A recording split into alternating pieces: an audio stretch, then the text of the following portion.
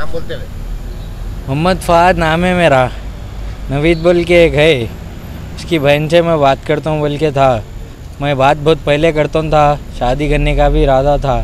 बातचीत चल रही थी अब ख़त्म हो गई थी। आज उन्हें आया वो ज़रिए से।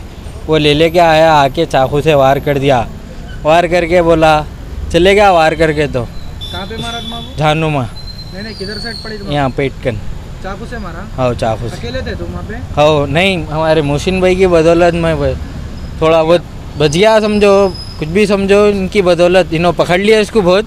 खाली मेरे को एक वार हुआ समझो मगर मेरे को इसका इंसाफ होना। क्या बोल के मारा? कहीं को? मारा उसकी बहन के साथ क्या की था बोल के वो ये वो ले ले क्या वो है नहीं पुरानी दुश्मनी है। शादीशुदा है? दो शादियाँ हुए हुए। अभी भी शादीशुदा है नो? नहीं दोनों को भी छोड़ दिए? छोड़ दिए। हाँ? छोड़ दिए।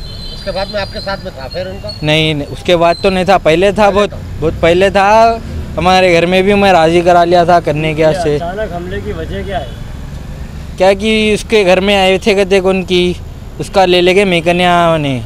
जो दूसरा बच्चा है। जो कौन आ नहीं मालूम वो मैया बोल के आ उन्हें असल में तो आप गए थे ना गए थे? नहीं नहीं नहीं गए थे। क्या टाइम पे हुआ ये आपके साथ? सा पाँच पच्चीस को हुआ, का- कौन सा पी में आया क्या लखनऊ में। अभी आप क्या चाह रहे हैं? इंसाफ होना। हो सब क्या होना आपको? क्या होना है? पेट पे निशान बिठा दिया रिमाइंड होना जेल को होना। आपको इसके बदले में आपको आपके घर पे आके अटैक करा हाँ घर पे। फ़ोन वोन करके भी कुछ धमकी नहीं नहीं नहीं नहीं। सीधा डायरेक्ट आ गया। मारने वाले का नाम क्या नवीद। कहाँ रहता हो ने वहाँ चश्मे पे रहता। ठीक है चश्मे। हाँ। आप उससे पहले आपको फ़ोन वोन करके धमकी दिया। नहीं फ़ोन वोन तो नहीं करा डायरेक्ट आ गया। आके सीधा चाकू निकाल के हमला शुरू कर दिया।